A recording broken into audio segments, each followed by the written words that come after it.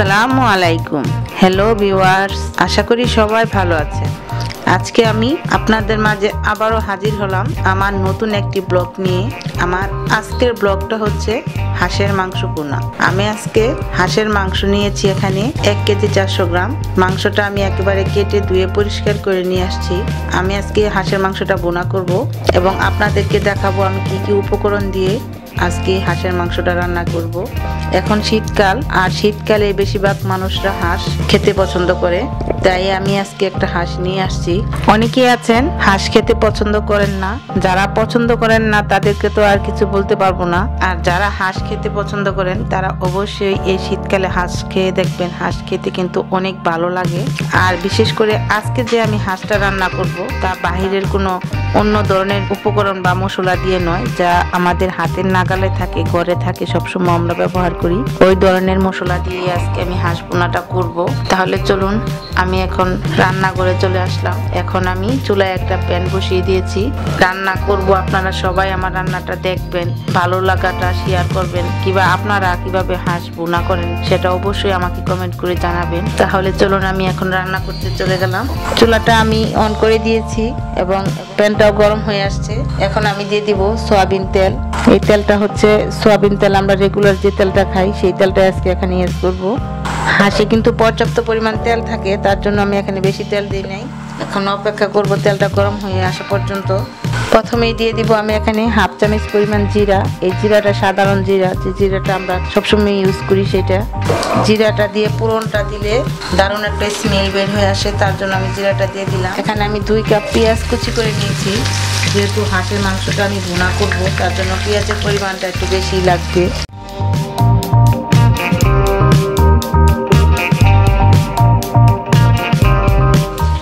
এখন আমি নেড়ে চেড়ে দুই থেকে তিন মিনিটের মতন পেঁয়াজটাকে ভালোভাবে কষিয়ে নিব এবং কি ব্রাউন কালার করে নিব।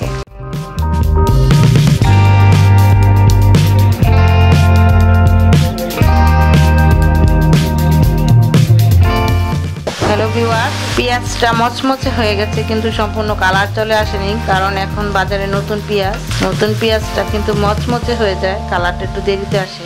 এ পর্যায়ে আমি দিয়ে দিব গোটা মশলা। এখানে আমি দুটা তেজপাতা মাঝখান থেকে ছিঁড়ে দিয়েছি। চার পাঁচটার মতন দারচিনি মাঝখান থেকে ভেঙে দিয়েছি। দুইটা জয়ন্ত্রী ছয়টা সাদা এলাচ, দুটা কালো এবং বড় এলাচ। আপনারা যেটা বলে চিনে থাকেন। এবং পাঁচটা লবঙ্গ। এখন আমি চুলার আঁচটা একেবারে কমিয়ে দিয়ে তারপর বাকি উপকরণগুলো দিব। যেহেতু আমি এখন প্রথমে গুঁড়া মশলা ব্যবহার করব। এখানে হলুদ গুঁড়া আছে, এক চামচের চাইতে কিছুটা বেশি। মরিচ গুঁড়া আছে, দেড় চামচ। ধনিয়ার গুঁড়াটা আছে, দেড় চামচ। এখন দিয়ে দিব অল্প কিছুটা পানি।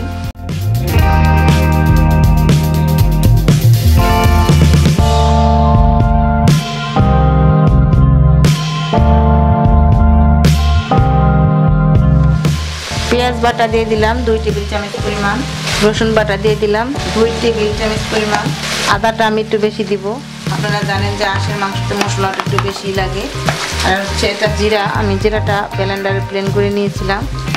জিরা দিয়ে দিলাম এখানে দুই চামচ পরিমাণ। এখন দিয়ে দিব স্বাদ অনুযায়ী লবণ।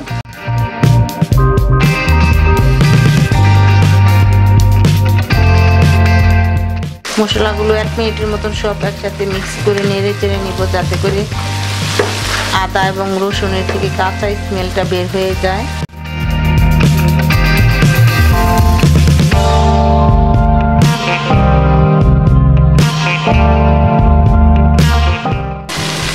এখন আমি দিয়ে দিব। আমি এখানে কেটে রেখেছিলাম দুইটা টমেটো বড় করে। এই টমেটোটার আমি ভিতরের বিচিটা ফেলে দেইনি। এটা সহকারে কেটে নিয়েছি। এবার আমি এটা মশলার সাথে একবারে কষিয়ে নিব। এবং টমেটোগুলো আমি একেবারেই গালিয়ে ফেলব যাতে মশলার সাথে অ্যাস্ট হয়ে যায়, মিশে যায়। তার জন্য আমি এই পর্যায়ে হাফ কাপ পরিমাণ পানি দিয়ে মশলা এবং টমেটোটাকে পারফেক্টভাবে কষিয়ে নিব।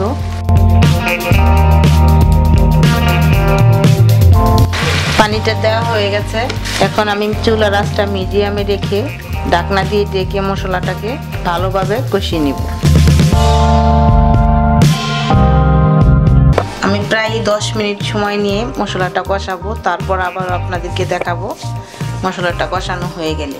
ফিরে এলাম আবারও দশ মিনিট পর ডাকনাটা খুলে আপনাদেরকে দেখাচ্ছি। দেখতে পাচ্ছেন মশলাটা খুবই সুন্দরভাবে কষানো হয়ে গেছে। মশলা থেকে তেলটা বের হয়ে আসছে, এক্সট্রা তেলটা। এখন আমি মাংসগুলো দিয়ে দিব।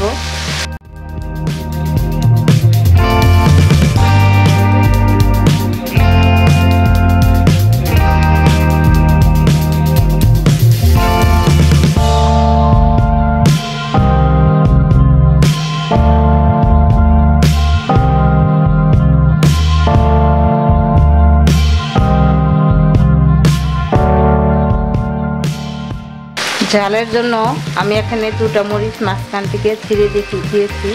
আর এখন আমি দিয়ে দিব এখানে আমি টমেটো সস নিয়েছি। টমেটো সসটা আমি দিয়ে দিব। আমি এখানে তিন টেবিল চামচ টমেটো সস দিয়েছি। আপনারা চাইলে বেশি কমও দিতে পারেন, তাতে কোনো সমস্যা নাই। আর যদি টমেটো সসটা না দিতে চান, তাও তাতে কোনো সমস্যা নেই। এখন আমি মাংসটা কষানোর জন্য গরম পানি ইউজ করব। গরম পানি দিয়ে মাংসটাকে পারফেক্টভাবে সিদ্ধ করে নিব। তার জন্য আমি এখানে পানি দিচ্ছি। এখানে আমি দুই কাপ পরিমাণ পানি দিয়েছি। এই পানিটা দিয়ে যদি মাংসটা সিদ্ধ হয়ে যায়, তারপর আমার আর বেশি পানি লাগবে না। আপনারা অবশ্যই গরম পানিটাই ব্যবহার করবেন। আর হাঁস যদি অল্প দিনের হয়, তাহলে বেশি পানি প্রয়োজন নেই। কারণ হাঁস নতুন এবং পুরান দুটা দেখি, দেখেই রান্নাটা করতে হয়। কারণ পুরান হাঁস সিদ্ধ হতে কিন্তু অনেকটা সময় লাগে। সেক্ষেত্রে পানির পরিমাণটাও বেশি লাগবে। এখন আমি ডাকনা দিয়ে ডেকে রান্না করব যতক্ষণ পর্যন্ত পানিটা একবারে শুকিয়ে না যায়। হ্যালো ভিউয়ার্স ফিরে এলাম আবারও রান্না করে আমি এখন ডাকনাটা খুলে দেখাচ্ছি আপনাদেরকে।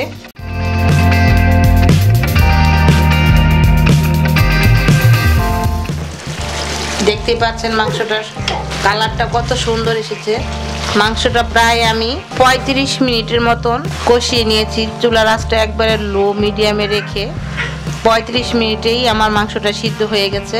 এখন আমি পরিমাণ মতন আপনারা কে কতটুকু জল রাখবেন, ততটুকু বুঝে শুনে পানিটা অ্যাড করবেন। আমি আজকে যেহেতু হাঁসের মাংসটা বুনা বুনা রাখব, তাই আমি অল্প কিছুটা পানি দিব। আমি এক কাপ পরিমাণ পানি দিয়েছি।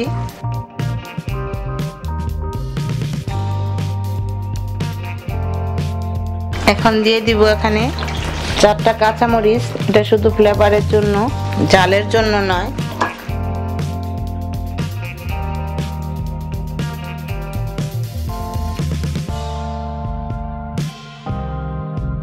আর দিয়ে দিব এক চামচ পরিমাণ গরম মশলা। এটা আমার ঘরে তৈরি করা মশলা।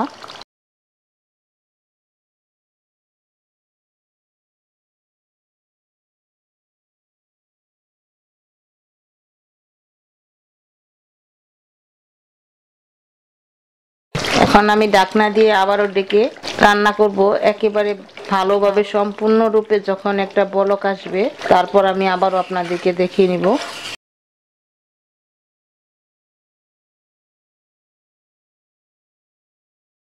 এবার আমি চুলার আঁচটা বাড়িয়ে দিব। আবারও ফিরে এলাম রান্না করে এখন আমি ডাকনাটা খুলে নিচ্ছি। আমার রান্নাটা একবারে হয়ে গেছে। আমি আপনাদেরকে একটু দেখাচ্ছি। দেখতেই পাচ্ছেন আপনারা মাংসটা কত সুন্দর হয়েছে। সবচেয়ে বড় কথা হয়েছে হাঁসের মাংসটা যদি সফট না হয়, তাহলে কিন্তু খেতে ভালো লাগে না। আমার আজকের হাঁসের মাংস রান্নাটা পারফেক্ট হয়েছে। আপনারা যারা আমার আমার আজকের এই ভিডিওটা দেখবেন, তারা অবশ্যই এভাবে ফলো করে হাঁসের মাংসটা রান্না করে খেয়ে দেখবেন। এভাবে হাঁসের মাংসটা রান্না করে খেলে কিন্তু অসাধারণ লাগে। আজকে কিন্তু আমি হাঁসের মাংসটা নাং রুটি দিয়ে পরিবেশন করব। আমার ঘরে আজকে নাং রুটি বানানো হয়েছে। আমি অন্য একটা ভিডিওতে আমার নাং রুটি বানানোটা দেখাবো। আপনারা চাইলে সাদা ভাত বা পোলাও দিয়েও হাঁসের মাংসটা খেতে পারবেন। হ্যালো ভিউয়ার্স আপনারা যারা এখনও আমার চ্যানেলটি সাবস্ক্রাইব করেননি, তারা অবশ্যই আমার চ্যানেলটি সাবস্ক্রাইব করে আমার পাশে থাকবেন। আর যারা আমার চ্যানেলটি সাবস্ক্রাইব করে দিয়েছেন, তাদেরকে অসংখ্য ধন্যবাদ। আজকে আমার এই ভিডিওটা যদি আপনাদের ভালো লাগে, তাহলে অবশ্যই আমার ভিডিওতে লাইক, কমেন্ট, শেয়ার এবং চ্যানেলটিতে সাবস্ক্রাইব করে দিবেন। আপনাদের নিজের মতন করে কীভাবে বাসায় হাঁসের মাংসটা রান্না করেন, সেটাও আমাকে কমেন্ট বক্সে জানাবেন। তাহলে আমিও জানতে পারব আপনারা কীভাবে হাঁসের মাংস রান্না করেন। হ্যালো ভিউয়ার্স, আজকে তাহলে এ পর্যন্তই থাক। অন্যদিন আপনাদের সাথে দেখা হবে নতুন কোনো রেসিপিতে। আল্লাহ হাফেজ।